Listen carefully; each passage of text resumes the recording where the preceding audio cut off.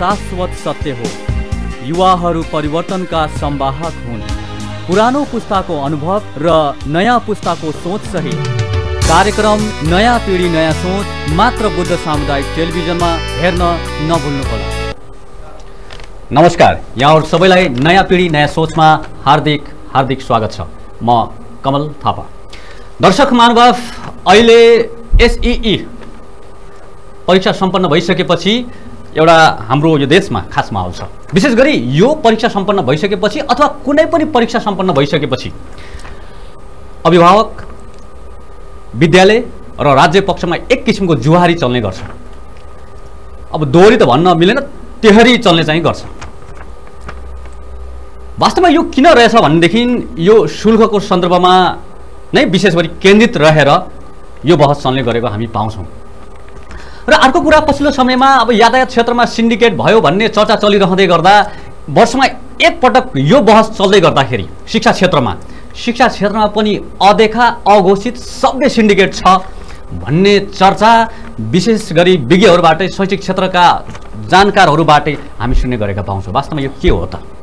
यसको सेरोफेरमा रहेर र केही समसामयिक विषयलाई उठान गरी आज हामीले एउटा सानो तर खास संवादको प्रयत्न गर्दैछौँ। र आज हामीसँग यो विषयमा रहेर आफ्नो अनुभव प्राज्ञिक तर्कसङ्गत विचार राख्नको लागि एकजना विद्वान व्यक्तित्वलाई आमन्त्रित गरेका छौँ जो संस्थागत विद्यालयलाई प्रतिनिधित्व समेत गर्नुहुन्छ।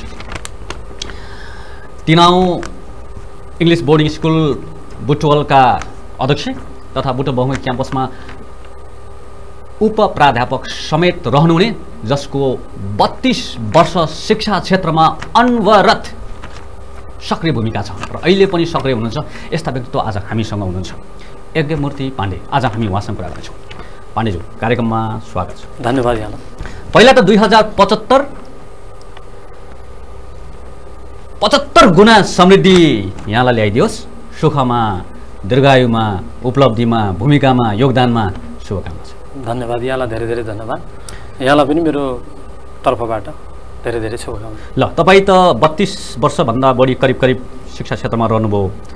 तपाईँ राज्यको युनिभर्सिटी अन्तर्गतको एउटा केन्द्रमा पनि तपाईँ इन्स्टिट्युसनमा पनि हुनुहुन्छ। प्राइभेट सेक्टर तपाईँ आफै करिब करिब दुई हजार छ्यालिस पछिको त अब आफ्नै नेतृत्वमा आफ्नो अडचालिस सालले अडचालिस पछि भनौँ। करिब छ्यालिस पछिको चाहिँ अब अडचालिसदेखि त तपाईँको आफ्नै स्वामित्वमा एउटा संस्था निरन्तर छ। जसको आफ्नै परिचय गौरव निर्माण भइसकेको छ यो क्षेत्रमा। शिक्षा क्षेत्र त फापिरहेछ। बधाई छ। ठिकै छ। कुरा सरकारी क्षेत्रबाट सुरु गरौँ क्यारे?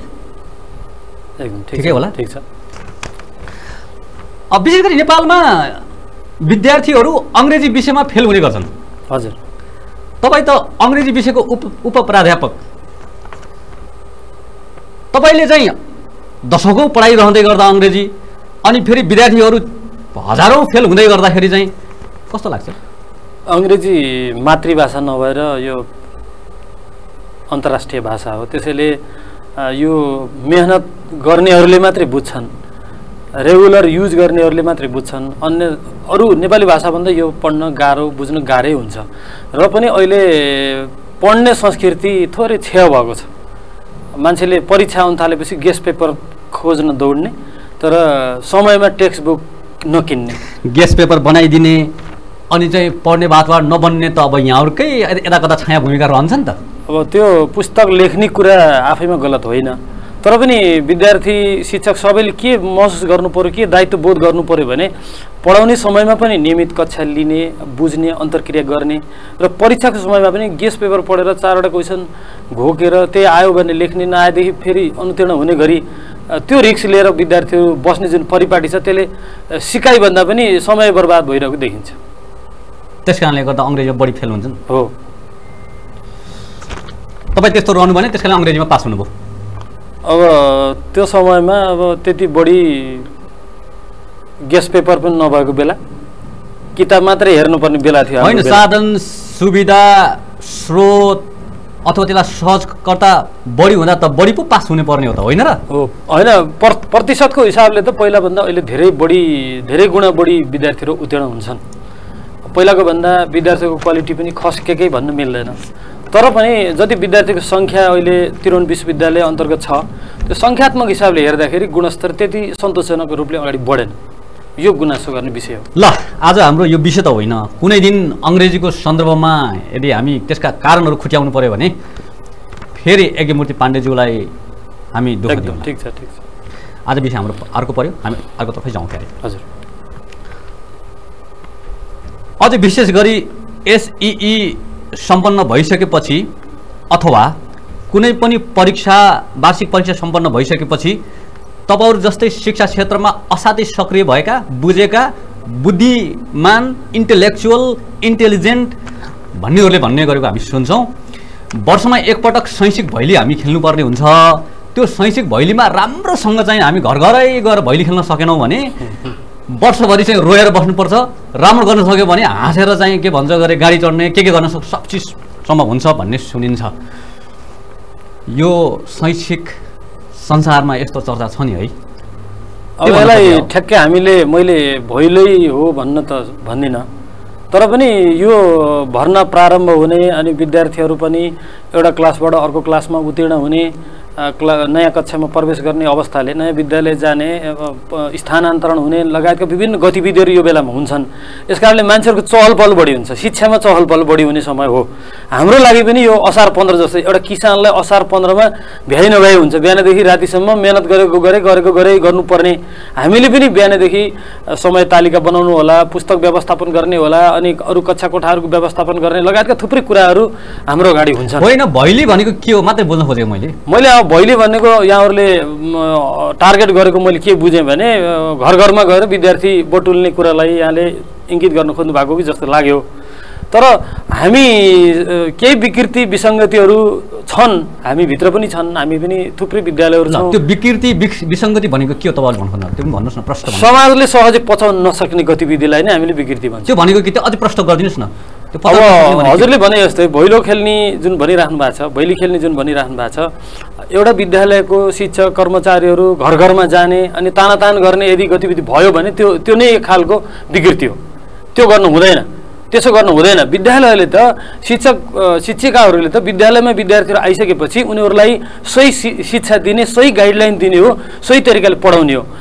पढाउने समयमा विचलित हुने आफ्नो दायित्वबोध कम गर्ने नगर्ने अनि भर्नाको समय आइसकेपछि एक खालको आतङ्क सिर्जना गर्ने काम कुनै संस्थाबाट कुनै विद्यालयहरूबाट भयो भने त्यो नै विकृति हो। ल तपाईँ त अब प्याप्सन रूपन्देहीको पूर्व अध्यक्ष पनि प्याप्सनकै केन्द्रीय पूर्व केन्द्रीय सदस्य पनि हजुर। यस्तो छ नि है। अब यो यता कता छ? यता कता होइन होला छ नि है। छ। तर पनि हामीले यसलाई के भन्छौँ भने अभिभावक भेट्ने कुरा घरमा जाने कुरालाई सधैँ सधैँभरि जहिलेसुकै नेगेटिभली पनि हेर्नु हुँदैन।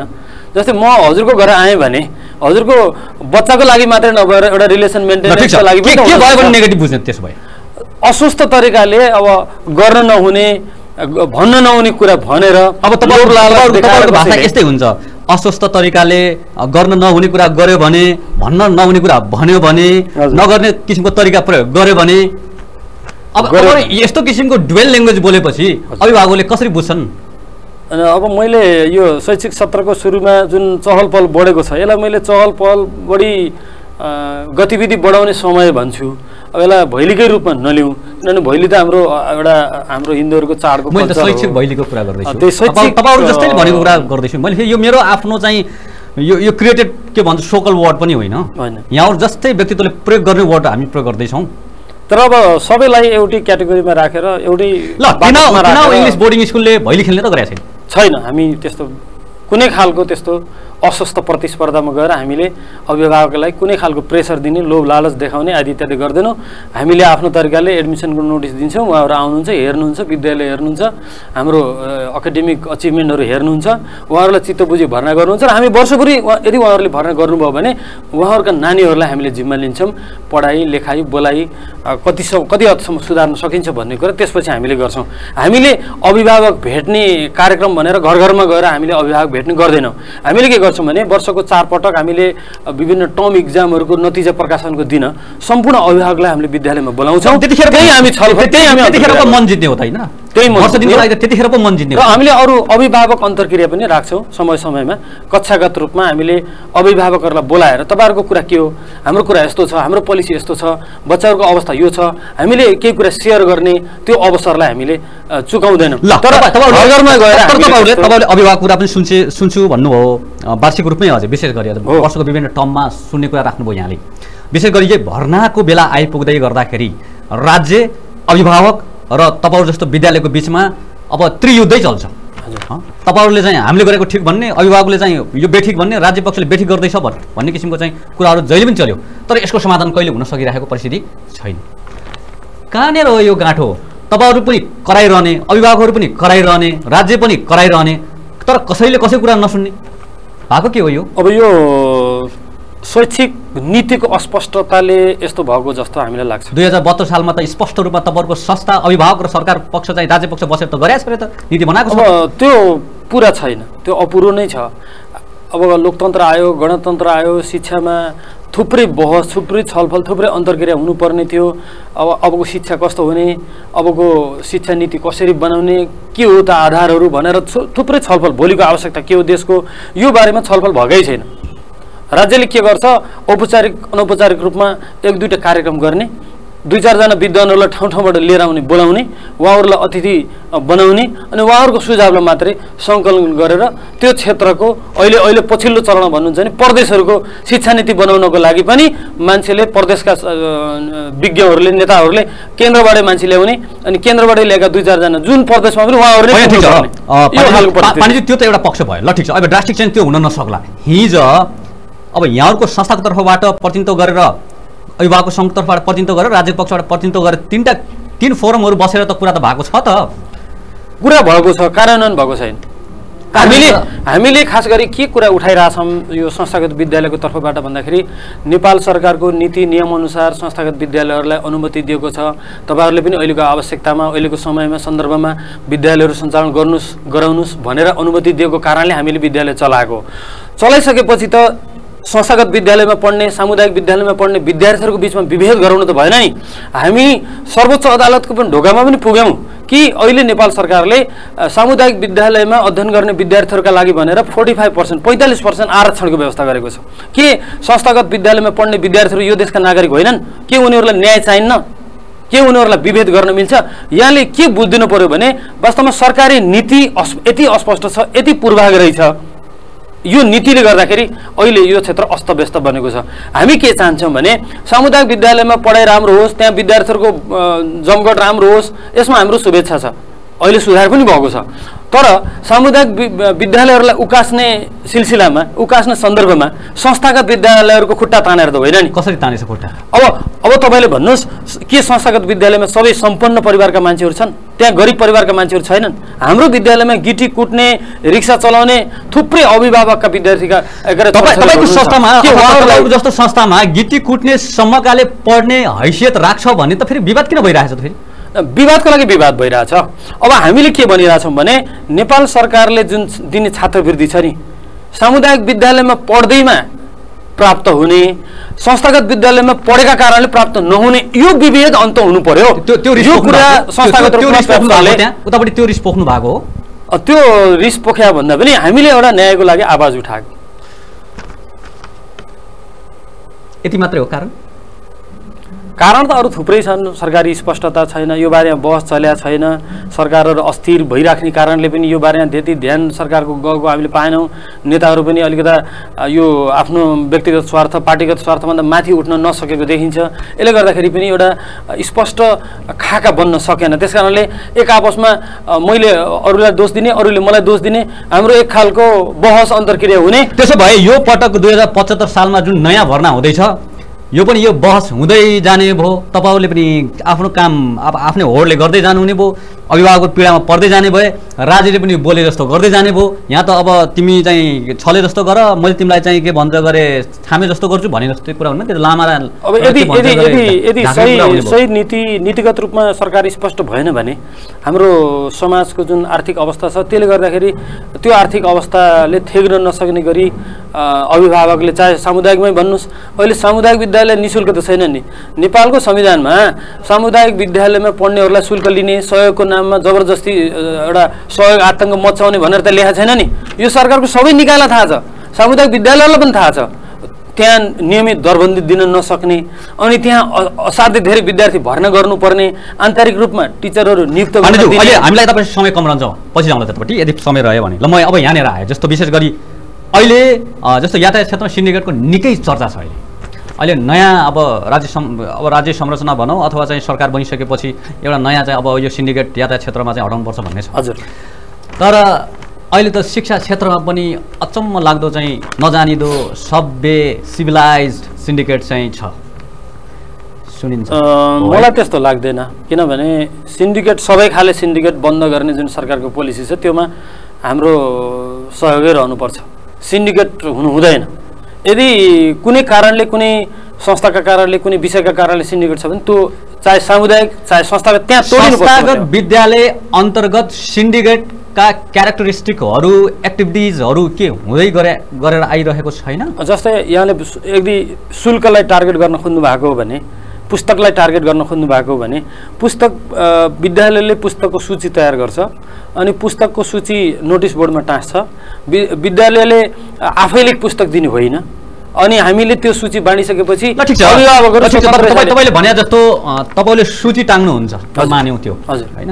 अब शुल्कको सन्दर्भमा त अब अब दादागिरी भन्दै त भन्दा अब राम्रो नसुनेर त्यहाँ नभनौँ अब यहाँले जसरी हुन्छ त्यो लागू गर्नु भएको छ।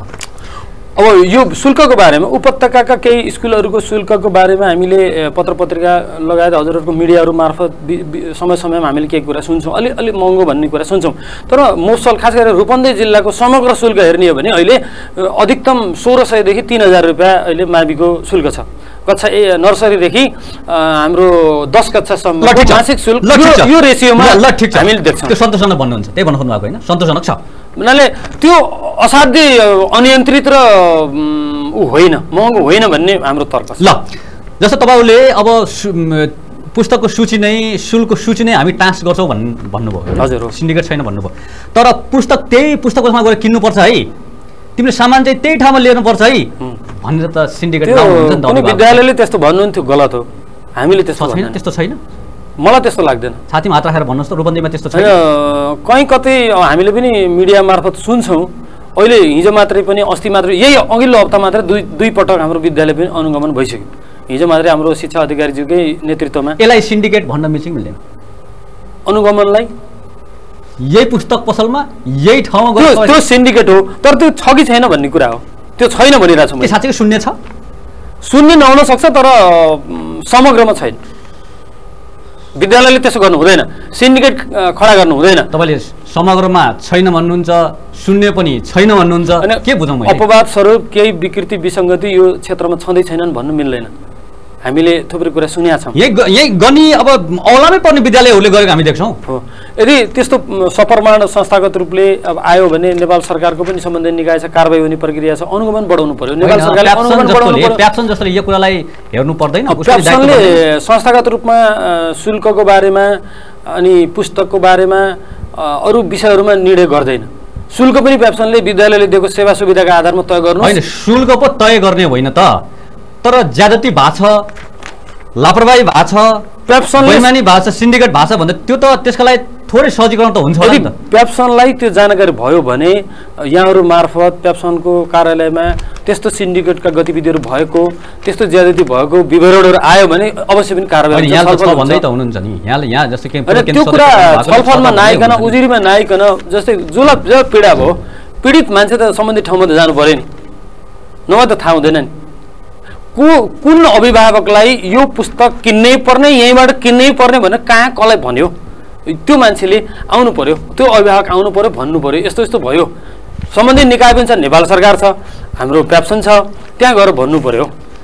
ल पाण्डेज्यू अब हामी कार्यक्रमको असाध्यै अन्त्यमा छौँ। तपाईँ करिब तिन दशक बढी शिक्षा क्षेत्रमा हुनुहुन्छ।